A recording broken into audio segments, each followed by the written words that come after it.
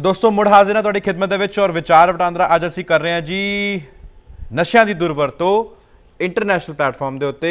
ਯਾਨੀ ਕਿ ਜੇਕਰ ਗੱਲ ਕਰੀਏ ਤੁਹਾਡੇ ਮੁਲਕਾਂ ਦੀ, ਲੰਡਨ ਦੀ ਗੱਲ ਕਰੀਏ ਯੂਕੇ ਦੀ ਗੱਲ ਕਰੀਏ, ਯਾਨੀ ਕਿ 올 ਓਵਰ ਯੂਕੇ ਦੀ ਗੱਲ ਕਰੀਏ, ਲੰਡਨ ਸ਼ਹਿਰ ਦੀ ਗੱਲ ਕਰੀਏ ਯੂਰਪ ਦੀ ਗੱਲ ਕਰੀਏ, ਤੇ ਕੀ ਜੁਰਤ ਹੈਗੀਆਂ ਹਨ ਇਹਦੀ ਦੁਰਵਰਤੋਂ ਨੂੰ ਖਤਮ ਕਰਨ ਦੇ ਲਈ ਔਰ ਕਿਸ ਪਾਸੇ ਜਾ ਰਹੇ ਨੇ ਸਾਡੇ, ਸਾਡਾ ਭਵਿੱਖ? ਸਾਡੀ ਨਵੀਂ ਜਨਰੇਸ਼ਨ, ਨਵੀਂ ਪਨੀਰੀ। ਇਸ ਮੁਤਲਕ ਮੈਂ ਬ੍ਰੇਕ ਤੋਂ ਜਾਣ ਤੋਂ ਪਹਿਲਾਂ ਸਵਾਲ ਪੁੱਛਿਆ ਸੀਗਾ ਜੀ, ਕਿ ਲੋੜ ਹੈਗੀ ਹੈ ਬੱਚਿਆਂ ਨੂੰ ਮੈਨੇਜਮੈਂਟ ਦੇ ਨਾਲ ਜੋੜਨ ਦੀ? ਅੱਜ ਸਾਡੇ ਬੱਚੇ ਪੋਲਿਟਿਕਸ ਦੇ ਵਿੱਚ ਕਿਉਂ ਨਹੀਂ ਜਾਣਾ ਚਾਹੁੰਦੇ? ਉਹਨਾਂ ਨੂੰ ਕਿਉਂ ਲੱਗਦਾ ਹੈ ਕਿ ਪੋਲਿਟਿਕਸ ਜਿਹੜੀ ਆ ਉਹ ਇੱਕ ਦਲਦਲ ਹੈ? ਅੱਜ ਬੱਚੇ ਕਿਉਂ ਨਹੀਂ ਚੋਣਾਂ ਲੜਨਾ ਚਾਹੁੰਦੇ ਹਨ?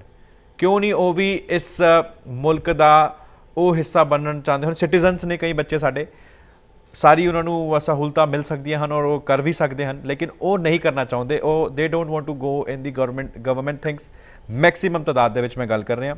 ਕਈ ਸਾਡੇ ਜਿਹੜੇ ਨੇ ਉਹ ਪਹੁੰਚੇ ਵੀ ਹਨ, ਜਿਨ੍ਹਾਂ ਨੇ ਸਾਡਾ ਨਾਂ ਵੀ ਰੋਸ਼ਨ ਕੀਤਾ।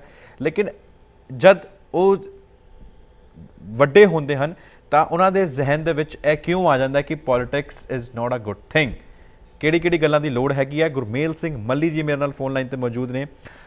ਗੁਰਦੁਆਰਾ ਸ੍ਰੀ ਗੁਰੂ ਸਿੰਘ ਸਭਾ ਸਾਊਥ ਹੋਲ ਦੇ ਪ੍ਰੈਜ਼ੀਡੈਂਟ ਨੇ ਜਾਣਨ ਦੀ ਕੋਸ਼ਿਸ਼ ਕਰਦੇ ਹਾਂ ਕਿ ਇਸ ਮੁਤਲਕ ਉਹ ਕੀ ਵਿਚਾਰ ਸਾਡੇ ਨਾਲ ਸਾਂਝਾ ਕਰਨੇ ਚਾਹੁੰਦੇ ਹਨ। ਮੱਲੀ ਜੀ, ਤੁਹਾਡਾ ਸਵਾਗਤ ਹੈ ਸਾਡੇ ਪ੍ਰੋਗਰਾਮ ਅੱਜ ਦੇ ਮੁੱਦੇ ਦੇ ਵਿੱਚ।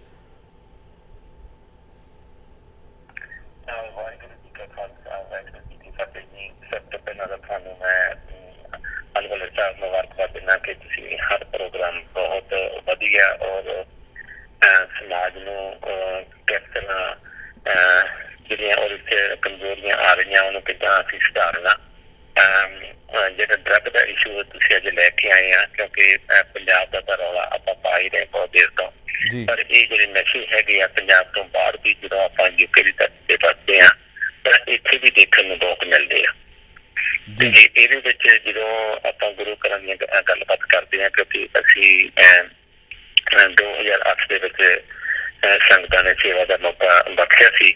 ਜੀ ਤੇ ਉਦੋਂ ਤੋਂ ਲੈ ਕੇ ਹੁਣ ਤੱਕ ਜਿਹੜੇ ਸੌ ਸਾਹਿਬ ਦੇ ਵਿੱਚ ਸਾਡੇ ਇੱਕ ਪ੍ਰਬੰਧ ਦੇ ਵਿੱਚੋਂ ਜਿਹੜੇ ਗੁਰਸਿੱਖ ਨੌਜਵਾਨ ਹੁਣ ਤਾਂ ਉਹ ਵੀ 40 ਸਾਲ ਦੀ ਉਮਰ ਹੋ ਗਈ ਹੋਣੀ ਉਹਨਾਂ ਦੀ।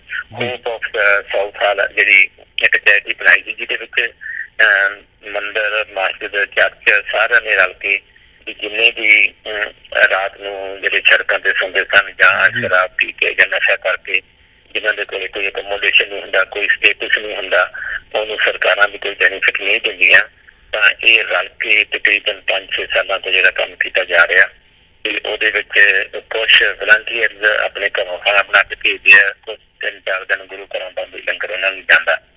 ਪਰ ਇਹਦੇ ਲਈ ਅਹ, ਜਿਸ ਤਰ੍ਹਾਂ ਹੁਣ ਪਿਛਲੇ 5-6 ਮਹੀਨਿਆਂ ਤੋਂ ਪਾਰਕ ਐਵਨਿਊ ਗੁਰਦੁਆਰਾ ਸਾਹਿਬ ਜਿਹੜਾ ਅਲਕੋਹਲਿਕ ਦੇ ਉੱਤੇ ਬੜੀ ਵੱਡੀ ਕੈਂਪੇਨ ਸ਼ੁਰੂ ਹੋਈ ਹੋਈ ਆ। ਤਕਰੀਬਨ ਹਰ ਵੀਕ 10 8-10 ਬੰਦੇ ਜਿਹੜੇ ਹੈਗੇ ਆ ਉਹਨਾਂ ਦੀ ਪ੍ਰਾਈਵੇਟ ਕਾਉਂਸਲਿੰਗ ਜਿਹੜੀ ਹੈਗੀ ਸ਼ੁਰੂ ਸ਼ੁਰੂ ਕਰ ਦਿੱਤੀ ਗਈ ਆ। ਤਾਂ ਕਿ ਕਿਉਂਕਿ ਹਰ ਫੈਮਿਲੀ ਹਰ ਬੰਦਾ ਸਾਹਮਣੇ ਨਹੀਂ ਆਉਣਾ ਚਾਹੁੰਦਾ। ਲੇਕਿਨ ਕਾਫੀ ਇਹ ਜਿਹੀਆਂ ਚੀਜ਼ਾਂ ਜਿਹੜੀਆਂ ਗੁਰੂ ਘਰਾਂ ਤੋਂ ਅਲੋਪ ਹੁੰਦੀਆਂ ਜਾ ਰਹੀਆਂ ਕਿ ਗੁਰੂ ਘਰ ਹੁੰਦਾ ਸੀ ਲੋੜਵੰਦਾਂ ਲਈ ਨਿਆਜ਼ ਨਿਆਸਰਿਆਂ ਲਈ ਜਿਨ੍ਹਾਂ ਨੂੰ ਕੋਈ ਦੁੱਖ ਤਕਲੀਫ ਆ ਉਹ ਆਪਣੇ ਦੁੱਖ ਤਕਲੀਫ ਆ ਕੇ ਆ ਕੇ ਹੱਲ ਕਰ ਸਕਣ ਪਰਿਵਾਰਾਂ ਦੇ ਜਿਹੜੇ ਮਸਲੇ ਹੈਗੇ ਉਹ ਹੱਲ ਕਰ ਸਕਣ। ਪਰ ਅਨਫੋਰਚੂਨੇਟਲੀ ਅੱਜ ਜਿਹੜਾ ਮਾਹੌਲ ਹੈਗਾ ਉਹ ਬਹੁਤ ਡਿਫਰੈਂਟ ਹੁੰਦਾ ਜਾ ਰਿਹਾ ਜਿਵੇਂ ਆਪਾਂ ਦੇਖਦੇ ਹਾਂ। ਪਰ ਸ੍ਰੀ ਗੁਰੂ ਸਿੰਘ ਸਾਹਿਬ ਨੇ ਪਿਛਲੇ ਕਈ ਸਾਲਾਂ ਤੋਂ ਇਹਨਾਂ ਵਿਸ਼ਿਆਂ ਦੇ ਉੱਤੇ ਬੜੀ ਡੀਪਲੀ ਜਿਹੜਾ ਜਿਹੜਾ ਮਸਲਾ ਉਹ ਚੱਕਿਆ ਹੋਇਆ। ਤੇ ਸਾਊਥਰ ਦੇ ਵਿੱਚ ਤਕਰੀਬਨ ਜਿਹੜੇ ਅਕੋਮੋਡੇਸ਼ਨ ਹੈਗਾ ਉਹਨਾਂ ਜਿਹੜੇ ਜਿਹੜੇ ਰੋਡਾਂ ਤੇ ਸੌਂਦੇ ਸਨ ਜਾਂ ਬੱਚਿਆਂ ਦੇ ਬੱਚੇ ਰਾਤ ਨੂੰ। ਨਸ਼ਾ ਜ਼ਿਆਦਾ ਪੀ ਲੈਂਦੇ ਉਹਨਾਂ ਵਾਸਤੇ ਵੀ ਜਿਹੜਾ ਪ੍ਰਬੰਧ ਉਹ ਗੁਰੂ ਘਰ ਦੇ ਵਿੱਚ ਨਹੀਂ ਪਰ ਲੇਕਿਨ ਬਾਹਰ ਪ੍ਰਬੰਧ ਕੀਤਾ ਗਿਆ ਜਿੱਥੇ ਉਹਨਾਂ ਨੂੰ ਉਹ ਰਹਿੰਦੇ ਆ ਰਾਤ ਨੂੰ ਤੇ ਉੱਥੇ ਉਹਨਾਂ ਦਾ ਖਾਣਾ ਪਾਣੀ ਵੀ ਪਹੁੰਚਾ ਦਿੱਤਾ ਜਾਂਦਾ ਮਲੀ ਜੀ ਇੱਥੇ ਇੱਕ ਗੱਲ ਬਣਦੀ ਹੈ ਕਿ ਅਸੀਂ ਆਪਣੇ ਬੱਚਿਆਂ ਨੂੰ ਕਿਉਂ ਨਹੀਂ ਜੋੜ ਰਹੇ ਗੁਰਦੁਆਰੇ ਦੀ ਮੈਨੇਜਮੈਂਟ ਦੇ ਨਾਲ ਅੱਜ ਸਾਡੇ ਬੱਚੇ ਕਿਉਂ ਨਹੀਂ ਬੰਨਾ ਚਾਹੁੰਦੇ ਹਿੱਸਾ ਗੁਰਦੁਆਰੇ ਦੇ ਵਿੱਚ ਕਿਉਂ ਨਹੀਂ ਆਪਣੀ ਉਹ ਜ਼ਿੰਮੇਵਾਰੀ ਲੈਣਾ ਚਾਹੁੰਦੇ? ਤੁਹਾਨੂੰ ਕੀ ਲੱਗਦਾ ਹੈ ਕਿ ਜਿਹੜੀਆਂ ਆਪਸੀ ਝਗੜੇ ਗੁਰਦੁਆਰਿਆਂ ਦੇ ਵਿੱਚ ਆਪਸੀ ਰੰਜਿਸ਼ ਆਪਸੀ ਧੜੇਬਾਜ਼ੀਆਂ ਕਰਕੇ ਸਾਡੇ ਬੱਚੇ ਅੱਜ ਨਹੀਂ ਜੁਆਇਨ ਕਰਨਾ ਚਾਹੁੰਦੇ ਪੋਲਿਟਿਕਸ ਔਰ ਜਿਹਦਾ ਖਾਮਿਆਜਾ ਸਿਰਫ ਗੁਰਦੁਆਰੇ ਦੀ ਪੋਲਿਟਿਕਸ ਹੀ ਸੀਮਤ ਪੋਲਿਟਿਕਸ ਤੱਕ ਹੀ ਸੀਮਤ ਨਹੀਂ ਰਹਿੰਦਾ ਬਲਕਿ ਸਾਡੀ ਜਿਹੜੀ ਯੂਕੇ ਦੀ ਪੋਲਿਟਿਕਸ ਹੈਗੀ ਹੈ ਯੂਰਪ ਦੀ ਪੋਲਿਟਿਕਸ ਹੈਗੀ ਹੈ, ਯਾਨੀ ਜਿਹੜੀ ਵੱਡੇ ਲੈਵਲ ਦੀ ਪੋਲਿਟਿਕਸ ਹੈਗੀ ਹੈ ਉਹ ਉੱਥੇ ਵੀ ਨਹੀਂ ਜਾਣਾ ਚਾਹੁੰਦੇ। ਉਹਨਾਂ ਦਾ ਧਿਆਨ ਜਿਹੜਾ ਹੈ ਉਹ ਇਸ ਪਾਸੇ ਨਹੀਂ ਜਾ ਰਿਹਾ। ਵੱਡੇ ਵੱਡੇ ਅਹੁਦੇ ਜਿਹੜੇ ਨੇ ਉਹ ਗ੍ਰੈਬ ਨਹੀਂ ਕਰ ਪਾ ਰਹੇ। ਕਈਆਂ ਨੇ ਕੀਤੇ ਹਨ ਲੇਕਿਨ ਮੈਕਸਿਮਮ ਤਾਦਾਦ ਦੇ ਵਿੱਚ ਸਾਡੇ ਅੰਦਰ ਉਹ ਹੁਨਰ ਹੈ ਜੋ ਅਸੀਂ ਕਰ ਸਕਦੇ ਹਾਂ। ਲੇਕਿਨ ਅਸੀਂ ਕਿਉਂ ਹਜੇ ਤੱਕ ਪਿੱਛੇ ਹਾਂ ਇਸ ਗੱਲ ਨੂੰ ਲੈ ਕੇ? ਮੈਂ ਜ਼ਰੂਰ ਜਾਨਣਾ ਚਾਹੁੰਦਾ। ਇਹਦਾ ਜਿਹੜਾ ਜਿਹੜਾ ਮੇਰਾ ਆਪਣਾ ਪ੍ਰੈਕਟੀਕਲ ਜਿਹੜਾ ਮੈਂ ਮਹਿਸੂਸ ਕਰਦਾ ਮੈਂ ਉਹਦੇ ਬਾਰੇ ਉਹ ਮੈਂ ਆਪਣਾ ਉਹਦੇ ਬਾਰੇ ਦੱਸ ਸਕਦਾ।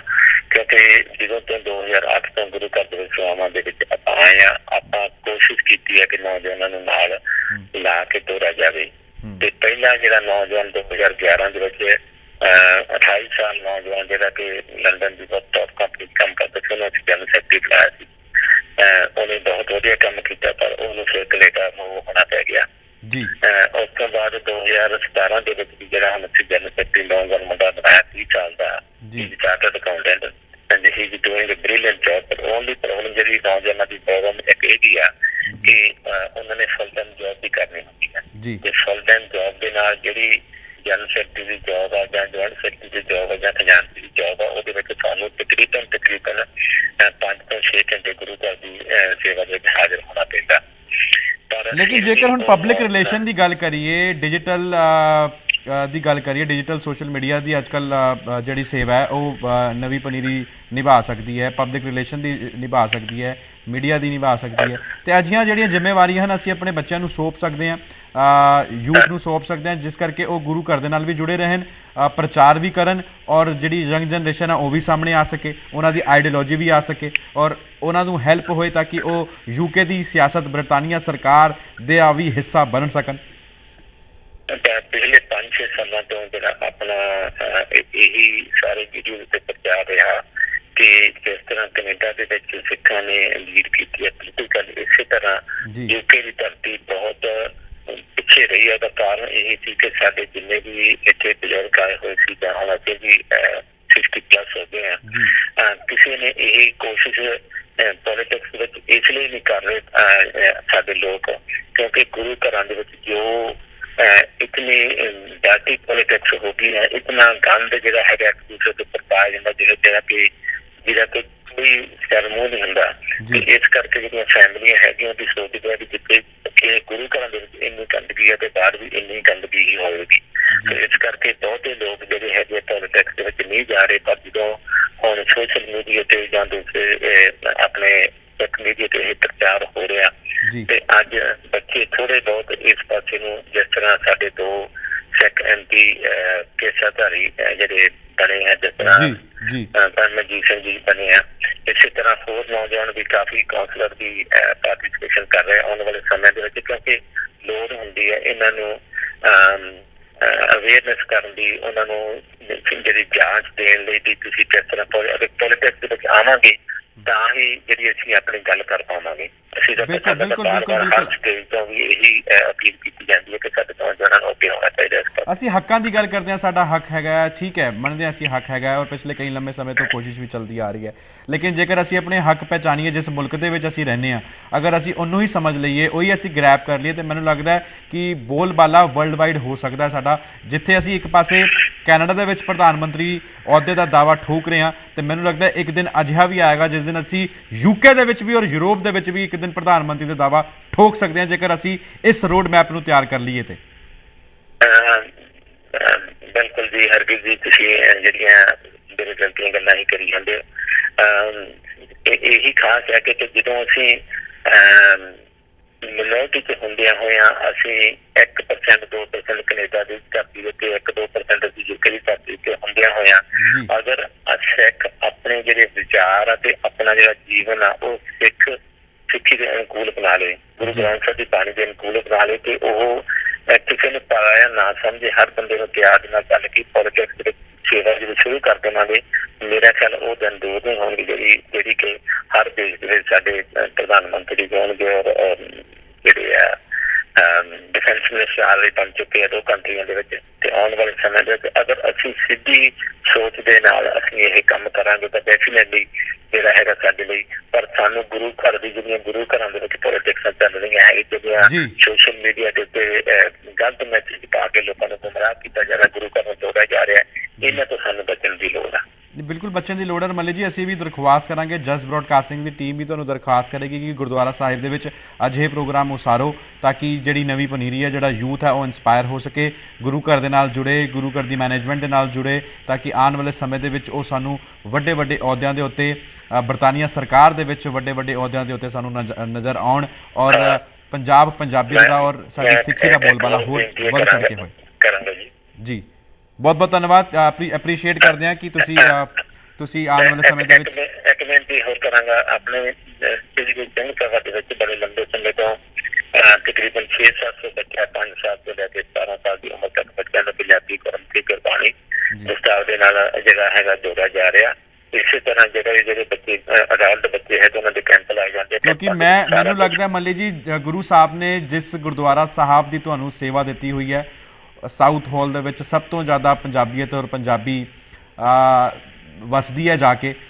ਤੇ ਲੱਗਦਾ ਕਿ ਅਸੀਂ ਸ਼ੁਰੂਆਤ ਕਰ ਸਕਦੇ ਹਾਂ ਆਪਣੇ ਘਰ ਤੋਂ ਜਦ ਸਾਡਾ ਘਰ ਦਾ ਭਵਿੱਖ ਵਧੀਆ ਹੋ ਜਾਏਗਾ ਤਾਂ ਮੈਨੂੰ ਲੱਗਦਾ ਪੰਜਾਬ ਵੀ ਵਧੀਆ ਹੋ ਜਾਊਗਾ। ਥੈਂਕ ਯੂ ਬਹੁਤ ਬਹੁਤ ਧੰਨਵਾਦ। ਵਾਹਿਗੁਰੂ ਜੀ ਕਾ ਖਾਲਸਾ ਵਾਹਿਗੁਰੂ ਜੀ ਕੀ ਫਤਿਹ ਗੁਰਮੇਲ ਸਿੰਘ ਜੀ। ਤੇ ਅਸੀਂ ਗੁਰਮੇਲ ਸਿੰਘ ਮੱਲੀ ਆ president Southall Shri Guru Granth Shri Guru Singh Sabha Sahib Gurdwara Sahib ਦੇ ਪ੍ਰਧਾਨ ਸੀਗੇ, ਜਿਨ੍ਹਾਂ ਨੇ ਆਪਣੀ ਗੱਲ ਸਾਡੇ ਨਾਲ ਰੱਖੀ। ਤੇ ਮੈਂ ਵੇਖ ਪਾ ਰਿਹਾ ਕਾਫੀ ਸਾਰੀ ਕਾਲਸ ਮੈਨੂੰ ਅੱਜ ਆਨੀਆਂ ਸ਼ੁਰੂ ਹੋ ਚੁੱਕੀਆਂ ਹਨ।